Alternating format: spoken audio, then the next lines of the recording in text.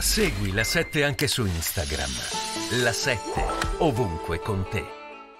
Galimberti, rimaniamo su questo che mi sembra veramente interessante per fare un passo avanti. Quindi vuol dire sostanzialmente, non so se lo condividi il ragionamento della Perina, ma che eh, il fatto quando la destra va al governo, non voglio usare il termine si normalizza, ma diciamo mh, lima alcune spigolature, alcune situazioni e quindi magari riesce anche ad attutire quella che può essere una rabbia sociale possiamo dare una lettura di questo tipo. Quindi è un bene che anche la destra populista sia andata al governo. Lei lo condivide? Sì, anche perché dall'altra parte non c'era nessuno che poteva andare al governo. Ma detto questo, um, dobbiamo anche considerare che la Meloni si trova in una condizione di essere in qualche modo obbligata a fare quello che fa contraddicendo la sua propaganda elettorale perché? Perché dall'Europa dipende il PNR, perché siamo in Europa, perché senza l'Europa non possiamo andare avanti da solo con il debito pubblico che abbiamo, quindi è costretta a, ad essere più draghiana che meloniana. Ma detto questo, quello che è preoccupante è il fatto che eh, fa dei decreti e poi dopo fa delle retromarce. L'abbiamo visto sul post, lo vediamo adesso benz sulla benzina. Le retromarce non si devono fare perché oggi l'ha fatta sui benzinai, domani la farà sui taxisti, dopodomani sui camionisti.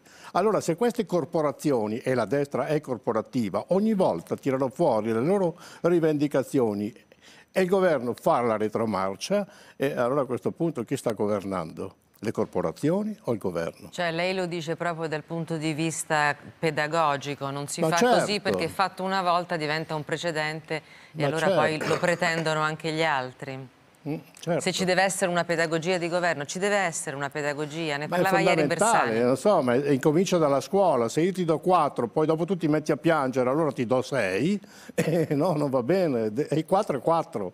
Cioè bisogna essere precisi quando si fanno i decreti, ma dopo non si deve più tornare indietro. Però in questo Perché altrimenti caso... costituisce un precedente. Massimo Franco, in questo caso però, dice Giorgia Meloni, i conti non sarebbero tornati, cioè una manovra diversa su, sulle accise, sul tema della benzina sarebbe costata un miliardo al mese. Al mese. Un miliardo al mese, quindi 12 miliardi in un anno era un bel po' di soldi. No, non c'erano più che altro. Appunto, appunto, no, li potevi togliere da quei certo. provvedimenti di cui parlava Flavia e metterli su, sul, sull'abolizione delle accise, però il problema è che bisogna scegliere, bisogna scegliere quando si è al governo e onestamente siamo in una situazione in cui i margini di manovra sono strettissimi, quindi alla fine ha dovuto fare delle scelte rispetto ad altre.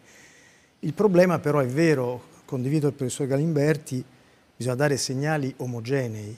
Se si danno segnali contraddittori non è soltanto un fatto di pedagogia, è un fatto politico, cioè ti dà l'idea di un governo che vuole durare cinque anni, vuole cambiare il volto all'Italia, vuole fare delle riforme strutturali e poi è costretto a esitare quando vede dei pezzi di società che si oppongono in modo, non dico virulento, però certamente molto deciso. Quindi secondo me questo è il tema, dare messaggi più omogenei di quanto non siano stati dati in questi primi mesi di governo.